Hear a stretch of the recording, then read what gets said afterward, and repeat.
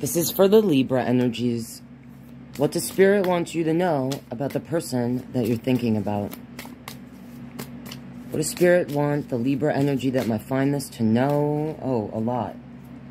Okay, there's a Nine of Wands. So this would say to me that you uh, have already been through whatever it is you're going through now with your person before. Like,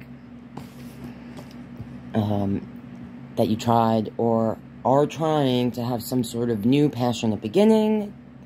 Your relationship with this energy could be very based on sex, okay? There's an Ace of Cup, an Empress, the King of Wands, and Death. Um, this is about the new beginning, and it's all about love and the feelings.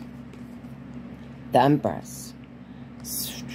Someone... Uh, mm, this is either saying to me that this person views you as everything they desire in the feminine or that they make you feel like you are the ultimate feminine energy. Like, they couldn't want anything else. This is Scorpio energy, and it's the death card. This represents a permanent ending. Sometimes a new beginning. So, I feel like you've already been through this before with this energy. Um, this is going to be the time where you guys decide if it's final and over, or if you're going to release the past. Alright? If you can release the past, there is a lot of love here.